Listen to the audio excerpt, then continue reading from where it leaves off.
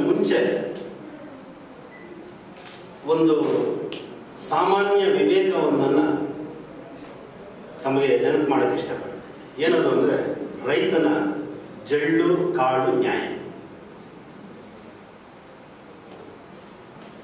ರೈತ ಬೆಳೆ ಬೆಳೀತಾನೆ. ಬೆಳೆದದ್ದನ್ನೆಲ್ಲ ಕುರುಡಾಗಿ ಮನೆಗೆ ತುಂಬಿಕೊಳ್ಳೋದಿಲ್ಲ. ಜಳ್ಳನ್ನು ತೋರಿ ಕಾಳನ್ನು ಸಂಗ್ರಹಿಸಿಕೊಳ್ಳಿ ಸಂಸ್ಕೃತಿಯಲ್ಲಿ ಸಾಹಿತ್ಯ, ಧರ್ಮ, ವಿಜ್ಞಾನ, ತಂತ್ರಜ್ಞಾನ ಇವೆಲ್ಲ ಬೆಳೆಗಳೇ, ಸಂಸ್ಕೃತಿಯ ಬೆಳೆಗಳು. ಈ ಬೆಳೆಗಳಲ್ಲೂ ಈ ಕೆಲಸ ಮಾಡಬೇಕು ನಾವು. ಜಳ್ಳು ಕಾಳು ನ್ಯಾಯವನ್ನ ಇಲ್ಲೂ ಕೂಡ ನಾವು ಮಾಡಬೇಕು. ಇದನ್ನ ಎಲ್ಲ ಮಾಡಿದ್ದಾರೆ, ಎಲ್ಲ ವಿವೇಕಿಗಳು ಮಾಡಿದ್ದಾರೆ. ನಾವು ಮಾಡ್ತಾ ಹೋಗಬೇಕು. ಬಸವರಾಜ ಮಾರ್ಗವೂ ಇಂಥದ್ದು. ಜಳ್ಳು ಕಾಡು ನ್ಯಾಯದ ಬಸವರಾಜ ಮಾರ್ಗ. ಯಾವುದೇ ಒಂದು ವ್ಯಕ್ತಿಯನ್ನು ಕುರಿತದ್ದಲ್ಲ ಆ ಮಾತು.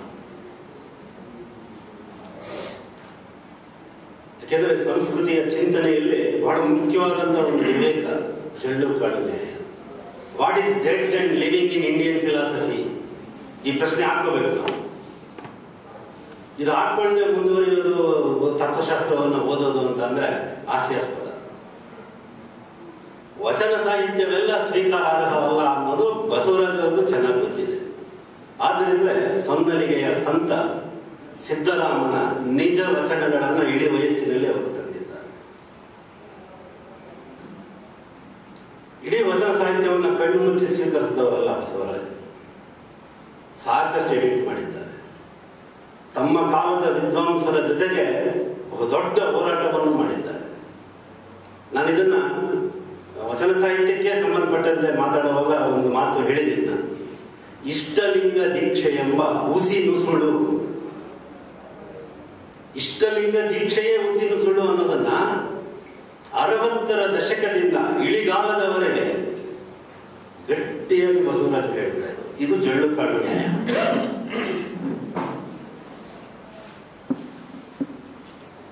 ಯಾಕೆಂದ್ರೆ ಇಷ್ಟಲಿಂಗ ದೀಕ್ಷೆ ಅನ್ನೋದು ಒಂದು ಐತಿಹಾಸಿಕ ಘಟನೆಯನ್ನು ನಂಬಿದ ವಿದ್ವಾಂಸರಿದಾರಲ್ಲ. ಶೈವ ಪುರೋಹಿತ ಶಾಹಿ ಮತ್ತು ವೀರಶೈವ ಪುರೋಹಿತ ಶಾಹಿ ಇವುಗಳನ್ನ ಜನ್ಮೇಕೆ ಎದುರಾಕೊಂಡಂತವರು ಡಾಕ್ಟರ್ ಎಲ್ ಬಸವರಾಜ್. ಆ ಭಾಗ ಅಲ್ಲವೇ ಅಲ್ಲ ಮೊದಲಿಗೆ ತಿಳ್ಕೊಳ್ಬೇಕು. ತಮಗೆ ಸಿಕ್ಕ ಪ್ರಾಚೀನ ಸಾಹಿತ್ಯವನ್ನ, ಅದು ಪಂಪರನ್ನ ಆಗ್ಬೋದು ಅಥವಾ ವಚನ ಆಗ್ಬೋದು ಆಗ್ಬೋದು. ಅದನ್ನು ಪ್ರಕಟಿಸೋದಿದೆಯಲ್ಲ, ಅದು ಸಂಪಾದನಾ ಪಟ್ಟಿಗಳು ಅಷ್ಟೇ. ಆ ಕೆಲಸವನ್ನ ಎಷ್ಟೋ ಜನ ಮಾಡಿದ್ದಾರೆ, ಈಗಲೂ ಮಾಡ್ತಾ ಇದ್ದಾರೆ. ಸಂಪಾದನಾ ಪಟ್ಟಿಗಳು. ನಾನಿಲ್ಲಿ ಸಂಪಾದನಾ ಪಟ್ಟಿಗಳ ಬಗ್ಗೆ ಮಾತಾಡ್ತಾ ಇಲ್ಲ. ಪಠ್ಯ ನಿರ್ಮಾಣಗಳ ಬಗ್ಗೆ ಮಾತಾಡ್ತಾ ಇಲ್ಲ.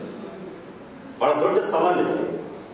ಪಠ್ಯ ನಿರ್ಮಾಣ ಇದು ಸೃಜನವೋ, ಸೃಜನೇತರವೋ ಅನ್ನೋದು ನಾನ್ ಸೆನ್ಸ್ ಯಾಕೆಂದ್ರೆ, ಒಳಗೆ ಸುಳಿಯುವ ಆತ್ಮ ಹೆಣ್ಣು ಅಲ್ಲ, ಗಂಡು ಅಲ್ಲ. ಇದು ವಚನ ಸಾಹಿತ್ಯ ಹೇಳುತ್ತೆ. ಗಂಡ, ಹೆಣ್ಣ ಅಂತ ಅನ್ನೋದ? ಏನ್ ಹೇಳ್ಬೇಕು ಅವ್ರಿಗೆ? ಏನು ಅಲ್ಲ ಅನ್ನೋದೇ ಬಹಳ ಮುಖ್ಯ. ಅದರಿಂದ ಡಾಕ್ಟರ್ ಎಲ್ ಬಸವರಾಜು ಒಬ್ಬ ರೈತಾಪಿ ಪ್ರಜ್ಞೆಯಿಂದ ಸಾಹಿತ್ಯದ ಬೆಳೆಯಲ್ಲಿ ಏನು ಕೆಲಸ ಮಾಡಬೇಕು ಅದನ್ನ ದಿಟ್ಟತನದಿಂದ ಮಾಡಿದ್ದಾರೆ. ಈ ಒಂದೇ ಪ್ರಶ್ನೆ ಇಲ್ಲ ನಾನಿರ್ಬೋದು ನನ್ನಂತ ಎಷ್ಟೋ ಜನ ಸಹೃದಯ ಇರ್ಬೋದು ನಾವು ಆಲೋಚನೆ ಮಾಡೋದು ಯಾವುದರಿಂದ ಯಾವ ಪ್ರಜ್ಞೆಯಿಂದ ನಾವು ಆಲೋಚನೆ ಮಾಡ್ತೀವಿ? ಈ ಪ್ರಶ್ನೆ ಹಾಕೊಂಡ್ರೆ ನನಗೆ ಸಿಕ್ಕೋದು ಎರಡನೇ, ಒಂದು ವಿಧೇಯ ಪ್ರಜ್ಞೆ, ಇನ್ನೊಂದು ವಿರೋಧ ಪ್ರಜ್ಞೆ. ನಮ್ಮ ಆಲೋಚನೆಯ ಗಂಗೋತ್ರಿ ಹುಟ್ಟುವುದು ಎಲ್ಲಿಂದ? ವಿರೋಧ ಪ್ರಜ್ಞೆಯಿಂದ ಹುಟ್ಟುತ್ತಾ, ವಿಧೇಯ ಪ್ರಜ್ಞೆಯಿಂದ ಹುಟ್ಟುತ್ತಾ? ಈ ಪ್ರಶ್ನೆಗಳು ಹಾಕಬೇಕು ಈ ಪ್ರಶ್ನೆಗಳು ಹಾಕೊಂಡ್ರೆ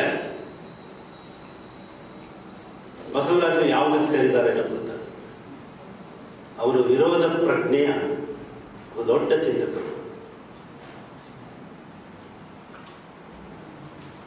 ವಿಧೇಯ ಪ್ರಜ್ಞೆ ನಮ್ಮನ್ನ ತಿಂಕ್ ತಪ್ಪಿಸುವಂತ. ಯಾಕೆಂದ್ರೆ ವಿಧೇಯ ಪ್ರಜ್ಞೆಯಿಂದ ಜಾತಿ ಪದ್ಧತಿ ಹುಟ್ಟುತ್ತದೆ ಅಸ್ಪೃಶ್ಯತೆ ಹುಟ್ಟುತ್ತದೆ ಜೀತ ಹುಟ್ಟುತ್ತದೆ ಗುಲಾಮಗಿರಿ ಹುಟ್ಟುತ್ತದೆ ನಾವು ಯಾವ ಯಾವುದನ್ನ ಸಾಮಾಜಿಕ ಪಿಡುಗುಗಳು ಎಂದು ಕರೆಯುತ್ತೇವೋ ಅದೆಲ್ಲ ಹುಟ್ಟುವುದು ವಿಧೇಯ ಪ್ರಜ್ಞೆಯಿಂದ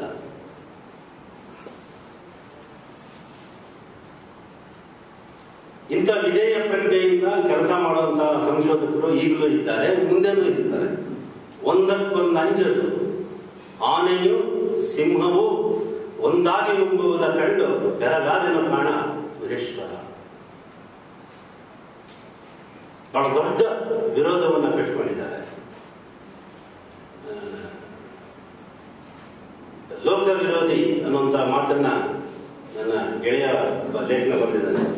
ಲೋಕ ಲೋಕ ವಿರೋಧಿ ಗುರುವಿನ ಪರಿನಿರ್ಮಾಣ ಸರಿ ನಿಜ ವಿರೋಧ ಪ್ರಜ್ಞೆಯಿಂದ ಅವರು ಕೆಲಸ ಮಾಡಿದ್ದಾರೆ ಅದೇ ಪಾಸಿಟಿವ್ ಕನ್ಸ್ಟ್ರಕ್ಟಿವ್ ಆದ ವಿರೋಧ ಪ್ರಜ್ಞೆ ಅದು.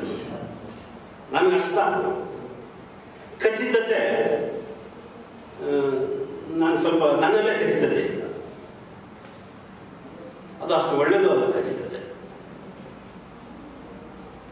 ಈ ಉದಾಹರಣೆಗೆ ರಾಮ ಯಾವ ಕಾಲದೇಶಕ್ಕೆ ಸೇರಿದವನು? ಈ ಪ್ರಶ್ನೆ ಹಾಕೊಂಡ್ರೆ ಇದಕ್ಕೆ ಏನು ಖಚಿತ ಉತ್ತರ ಕೊಡಕ್ಕೆ ಸಾಧ್ಯ? ಲೋಹಿಯ ಹೇಳ್ತಾರೆ, ಇಂಡಿಯಾದ ಮಹತ್ ಸ್ವಪ್ನ ನನ್ನ ಬಹಳ ಮುಖ್ಯ. ಅವನು ಯಾವ ಕಾಲದೇಶಕ್ಕೆ ಸೇರಿದ್ದಾನೆ ಎಂಬ ಖಚಿತತೆ ನನಗಷ್ಟು ಮುಖ್ಯನೇ ಅಲ್ಲ. ಭಾರತದ ಮಹತ್ ಸ್ವಪ್ನ. ನೋಡಿ ಇದು, ಅಂದ್ರೆ ಭಾವನಾ ಬಲವೇ ಪ್ರಧಾನವಾಗಿರುವ ಸಹೃದಯ ವಿದ್ವತ್ತಿದೆಯಲ್ಲ ಅದಕ್ಕೆ ಖಚಿತತೆ ಬೇಕಿಲ್ಲ. ಒಬ್ಬ ಸಿದ್ಧಾಂತಿಗೆ ಬೇಕು ತಾತ್ವಿಕನಿಗೆ ಬೇಕು ಖಚಿತತೆ. ಕವಿಗೆ, ಕಲಾವಿದನಿಗೆ ಖಚಿತತೆ ಇದ್ರೆ ಕೆಟ್ಟೋಗುತ್ತೆ ಕೃತಿ ತೋಪಾಗುತ್ತೆ ನಾನು ಇದನ್ನ ನಾನು ನಂಬಿದ್ದೀನಿ ಮತ್ತು ಅದನ್ನೇ ಹೇಳ್ತಾ ಇದ್ದೇನೆ ಕೆಲವರನ್ನು ನಾವು ಖಚಿತತೆಯ ನೆಲೆಯಲ್ಲಿ ಹೇಳಕ್ಕಾಗಲ್ಲ ಅಲ್ಲಮ್ಮನನ್ನಂತೂ ನೀವು ಯಾವ ಸಿದ್ಧಾಂತದ ಚೌಕಟ್ಟಿಗೂ ಸಿಲುಕಿಸಕ್ಕಾಗಲ್ಲ. ಅದು ನಮ್ಮ ನಮ್ಮ ತೃಪ್ತಿ ಅಷ್ಟೇ. ಇದಕ್ಕೆ ಸೇರಿಸ್ಬೋದು ಅಂತ. ಇನ್ನೊಬ್ರು ಇನ್ನೊಂದಕ್ಕೂ ಸೇರಿಸ್ಬೋದು ಆ, ನಮ್ಮ ಲಕ್ಷ್ಮೀಪತಿ ಹೇಳ್ತಾ ಇದ್ದ ಅಲ್ಲಮ್ಮ ಅಲ್ಲಮ್ಮ ಅಂದ್ರೆ ಕೊನೆಗೆ ಇಲ್ಲಮ್ಮ ಇಲ್ಲಮ್ಮ ಅಂತ ಅದು ನಿಜ ಅಂದ್ರೆ ಯಾವ ಸಿದ್ಧಾಂತದ ಗೂಟಕ್ಕೂ ಬಿಗಿಯಲಾಗದ ದಾರ್ಶನಿಕರು ಕವಿಗಳು ಕಲಾವಿದರು ಯಾವುದೇ ಭಾಷಾ ಸಾಹಿತ್ಯದ ಒಂದು ಬಹುದೊಡ್ಡ ಹೆಮ್ಮೆ ಅಂತ ನಾನು ಕಂಡಿದ್ದೀನಿ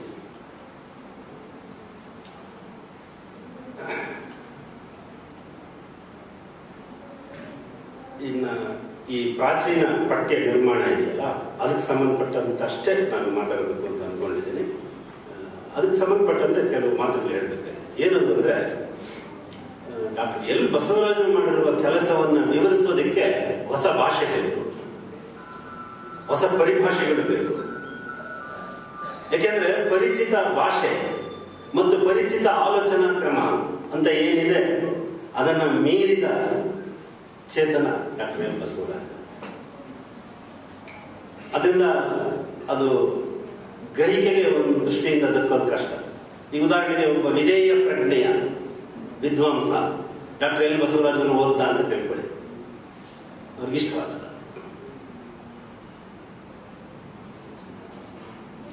ಅದೇ ವಿರೋಧ ಪ್ರಜ್ಞೆಯ ಒಬ್ಬ ಸಹೃದಯ, ಡಾಕ್ಟರ್ ಎಲ್ ಬಸವರಾಜನ ಓದ್ಕೊಂಡಾಗ ಅವನಿಗೆ ಕಾಣುವ ಲೋಕವೇ ಒಂದು ಅದ್ಭುತ.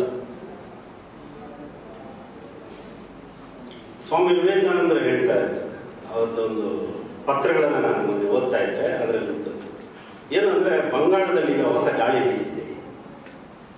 ಪರಮಹಂಸರ ಆಗಮನದಿಂದ ನಮ್ಮ ಭಾಷೆಗೆ, ಬಂಗಾಳಿ ಭಾಷೆ ಒಂದು ಹೊಸ ಶಕ್ತಿ ಹೊಸ ರೀತಿಯ ಭಾವಾಭಿವ್ಯಕ್ತಿ ಸಾಧ್ಯ ಆಗಿದೆ. ಅದನ್ನ ನೀನು ಮಾಡಬೇಕು ಅಂತ ಒಬ್ಬ ಶಿಷ್ಯನಿಗೆ ಅವ್ರು ಹೇಳ್ತಾರೆ. ಭಾಷೆಗೆ ಶಕ್ತಿ ಯಾವುದರಿಂದ ಬರುತ್ತೆ ಆಲೋಚಿಸು. ಅದರಲ್ಲಿ ವಿಶೇಷಣಗಳ ಕರ್ತವ್ಯ ಏನು? ಕ್ರಿಯಾಪದಗಳ ಕರ್ತವ್ಯ ಏನು? ಎಲ್ಲವನ್ನ ಸ್ವಾಮಿ ವಿವೇಕಾನಂದರು ಚರ್ಚೆ ಮಾಡಿದ್ದಾರೆ. ನೀನು ವಿಶೇಷಣಗಳನ್ನು ಹೆಚ್ಚಿಗೆ ಬಳಸಿ, ಬರೀ ಒಂದು ಹೊಸ ಶಕ್ತಿ ಬರುತ್ತೆ ಎಂಬ ಮಾತನ್ನ ಸ್ವಾಮಿ ವಿವೇಕಾನಂದರು ನಾನು ಯಾಕೆ ಇದನ್ನು ಈ ಚರ್ಚೆಯನ್ನು ಇಲ್ಲಿ ನೆನಪು ಮಾಡ್ತಾ ಇದ್ದೀನಿ ಅಂತಂದ್ರೆ ಡಾಕ್ಟರ್ ಎಲ್ ಬಸವರಾಜು ಅವರ ಕೆಲಸವನ್ನ ಯಾರೊಬ್ಬರು ಪರಿಚಿತ ಭಾಷೆ ಮತ್ತು ಪರಿಚಿತ ಪರಿಚಿತ ಆಲೋಚನಾ ಕ್ರಮದಲ್ಲಿ ವಿವರಿಸಲು ಆಗುವುದಿಲ್ಲ. ಅದಕ್ಕೆ ಹೊಸ ಭಾಷೆಯೇ ಬೇಕು, ಹೊಸ ಅಭಿವ್ಯಕ್ತಿಯೇ ಬೇಕು. ಅದರಿಂದ ನಾನು ಗ್ರಂಥ ಸಂಪಾದನೆ ಎನ್ನುವುದನ್ನು ಡಿಲೀಟ್ ಮಾಡಿದ್ದೇನೆ.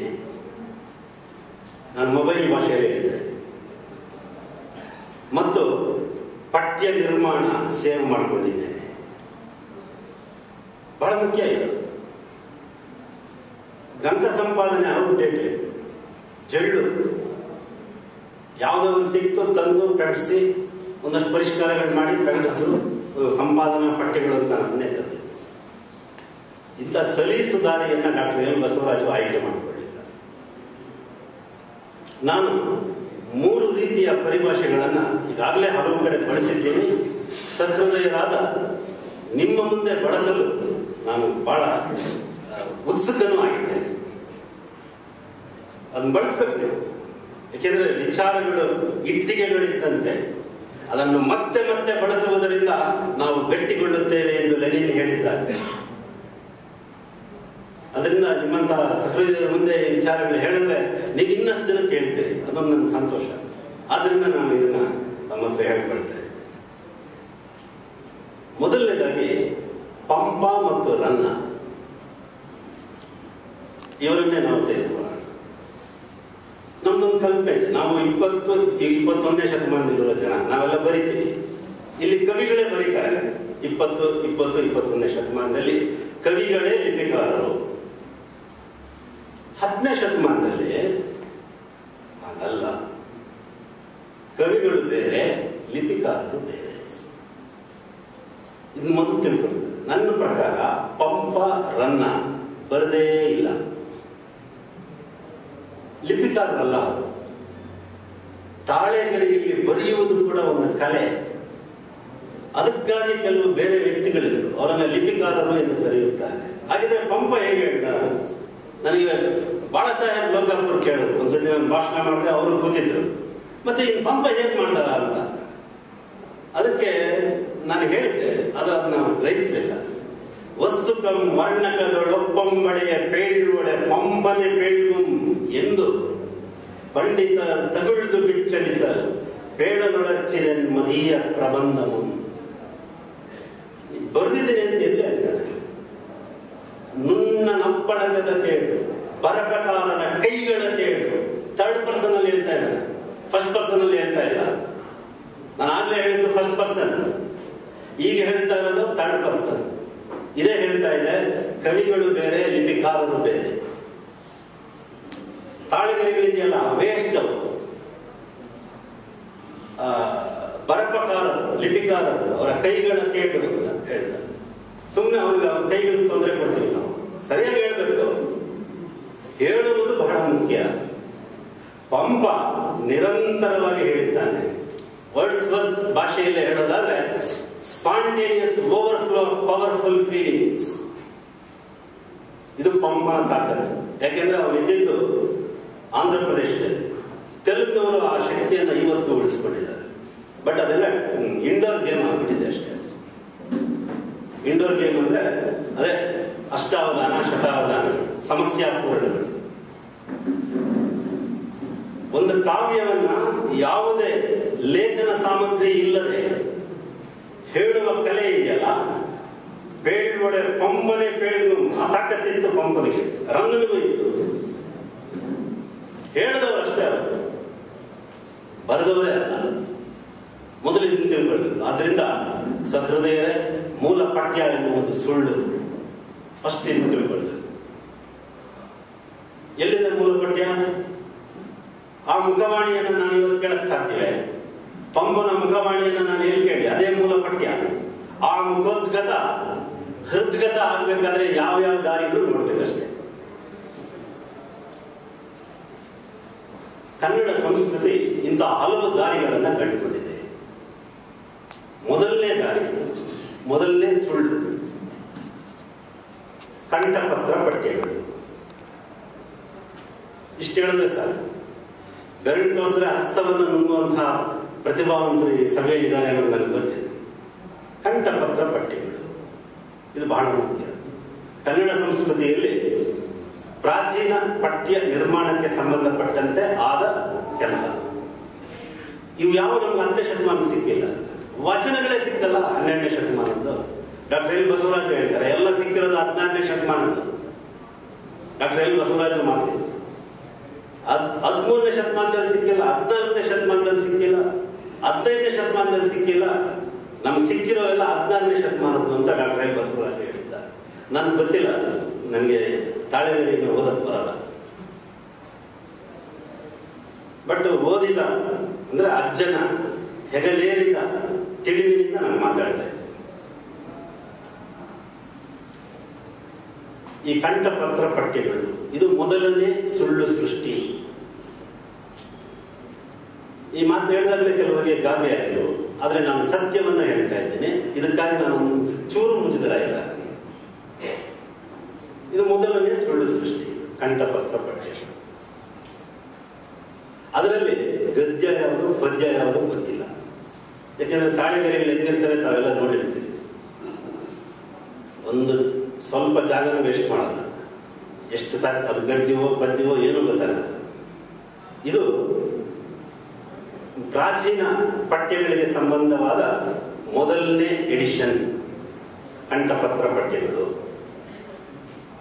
ಆಮೇಲೆ ಹಲವು ಶತಮಾನಗಳು ಉಳಿದು ಮುದ್ರಣ ಯಂತ್ರ ಬಂತು. ಕಾಗದಗಳು ಬಂದು. ತಾಳೆಗರಿರೋದೆಲ್ಲ ಗೆದ್ದು ತಿಂತಾ ಇದೆಯಲ್ಲ? ಇವಾಗ ಅದನ್ನ ಇದಕ್ಕೆ ಟ್ರಾನ್ಸ್ಫರ್ ಮಾಡಬೇಕು. ಪ್ರಿಂಟ್ ಮಾಡಬೇಕು. ಪ್ರಿಂಟ್ ಮಾಡುವಾಗ ಏನು ಮಾಡಿದ್ರು ಅಂದ್ರೆ, ತಮ್ಮ ಅನುಕೂಲಕ್ಕೆ ತಕ್ಕಂತೆ ಅವುಗಳನ್ನೆಲ್ಲ ವಿಂಗಡಿಸಿದ್ರು.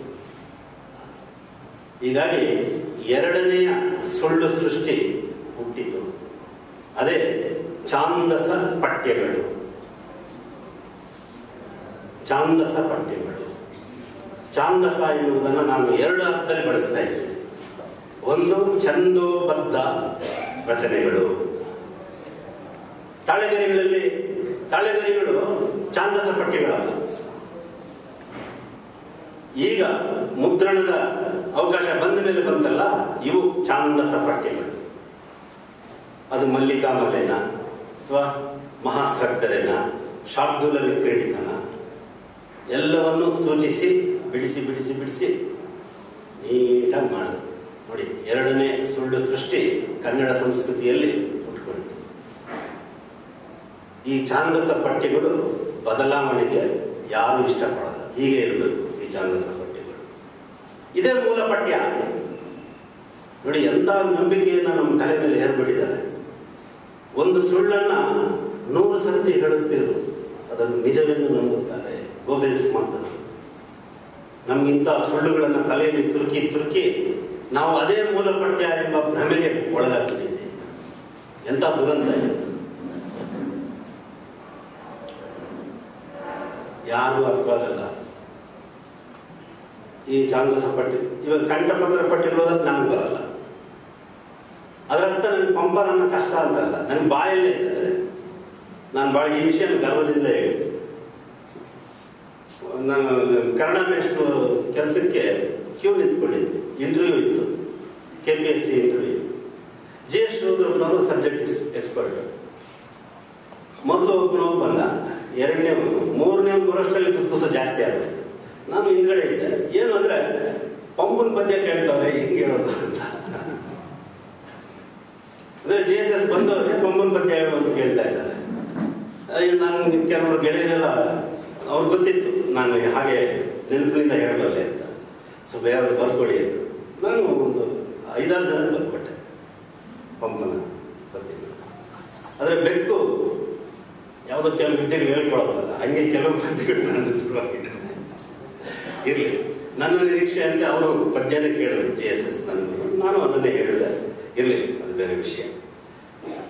ನಾನು ಯಾಕೆ ಇದನ್ನು ತಮಗೆ ನೆನಪು ಮಾಡ್ತಾ ಇದ್ದೀನಿ ಅಂದರೆ ಮೇಷ್ಟ್ರುಗಳಿಗೆ ಕಷ್ಟ ಇನ್ನು ಪಾಪ ಮಕ್ಕಳಿಗೆ. ಟೆಕ್ಸ್ಟ್ ಬುಕ್ಗಳಲ್ಲಿ ಈ ಎರಡನೇ ಸುಳ್ಳು ಸೃಷ್ಟಿಯನ್ನ ಯಾವತ್ತು ಸಾಯಿಸ್ತಾರೋ ಅನ್ನೋದನ್ನ ನಾನು ಎದುರು ನೋಡ್ತಾ ಇದ್ದೀನಿ. ಭಯ ಬಂದ್ಬಿಟ್ಟಿದೆ. ಪಠ್ಯ ಭಯೋತ್ಪಾದನೆ ಅಂದ್ರೆ ಇದೇನೆ. ಟೆಕ್ಸ್ಚುಯಲ್ ಟೆರರಿಸಂ ನಾನು ಹಾಗೆ ಕಲಿತಿದ್ದೆ ಈ ಟೆಕ್ಸ್ಟೈಲ್ ಟೆರರಿಸಂ ಅನ್ನು ತಿಳ್ಕೊಂಡು ಇದನ್ನು ಚೆನ್ನಾಗಿ ತಿಳ್ಕೊಂಡವರು ಡಾಕ್ಟರ್ ಎಂ ಎಸ್ ಓ, ಹಿಂಗಿದ್ರೆ ಪಂಪಾರ ಅನ್ನ ನಮ್ಮ ಜನಕ್ಕೆ ಸಿಕ್ಕಲ್ಲ.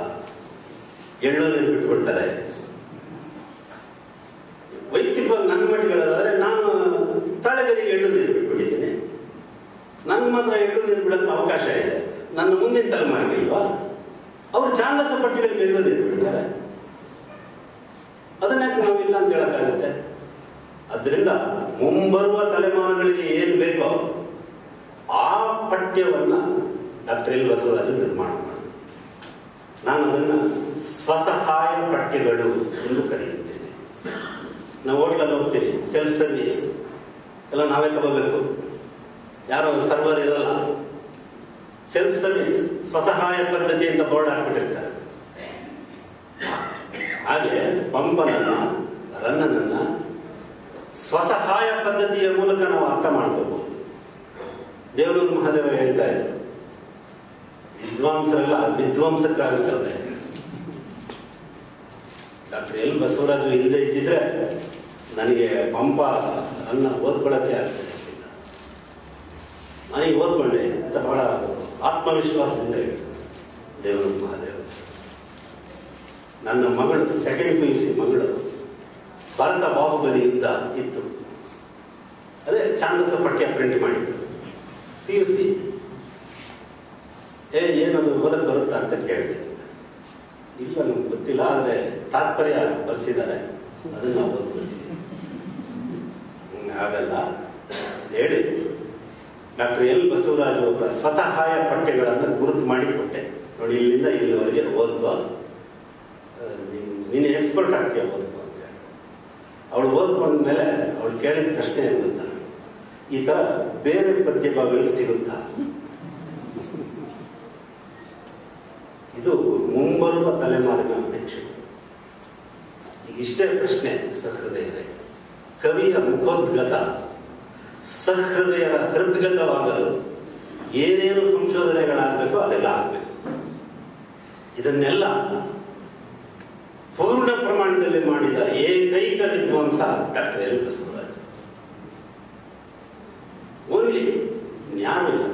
ಕಂಠಪತ್ರ ಪಠ್ಯಗಳನ್ನು ಅರ್ದು ಕುಡಿದವ್ರೆ.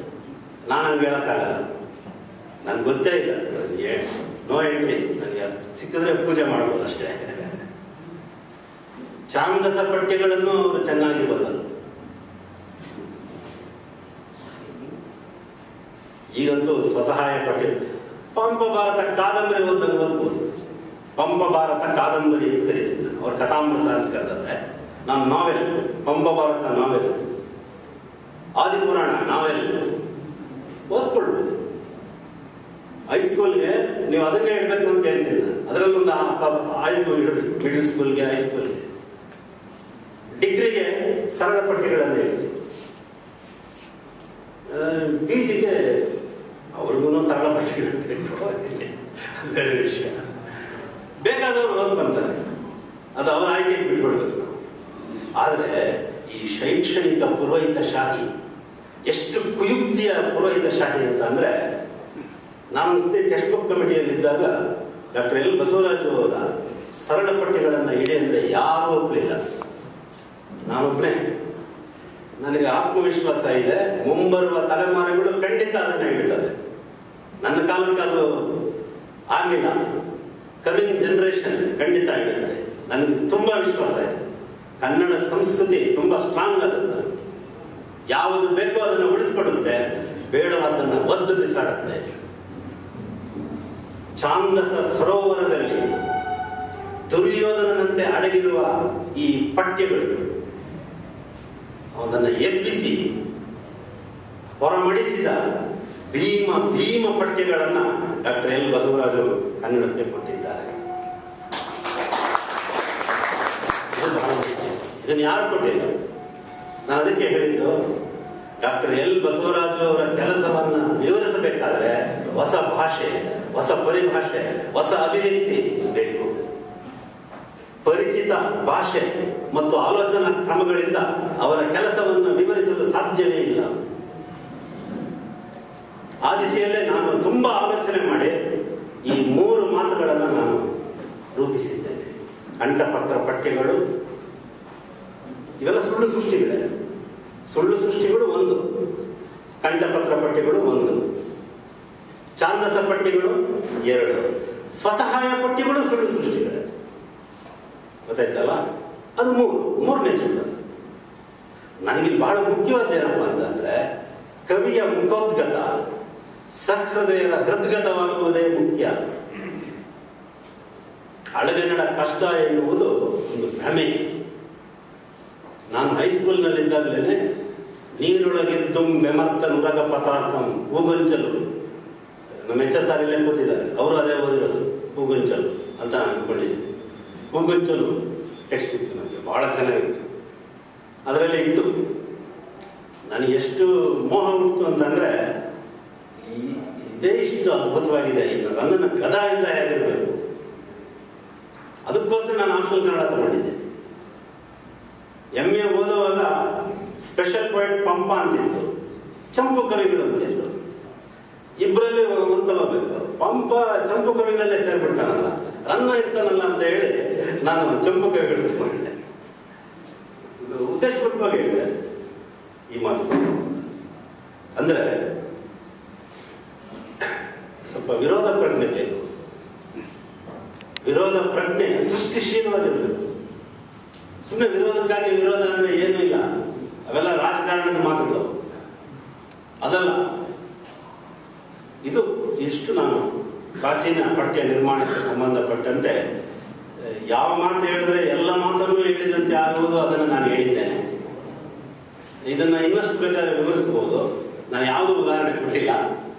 ಆದರೆ ಆಗಿರುವ ಕೆಲಸ ಏನು ಅನ್ನೋದನ್ನು ತಿಳಿಸಿ ಡಾಕ್ಟರ್ ಎಲ್. ಬಸವರಾಜು ಹೇಗೆ ಚೆಳ್ಳು ಕಾಡು ನ್ಯಾಯದ ಮೂಲಕ ಕನ್ನಡ ಸಂಸ್ಕೃತಿಯ ಗಟ್ಟಿತನವನ್ನು ಎತ್ತಿ ಹಿಡಿದಿದ್ದಾರೆ ಅನ್ನೋದನ್ನು ಹೇಳಿದ್ದೇನೆ. ಇಷ್ಟು ಸಾಕು ಅಂತ ನಾನು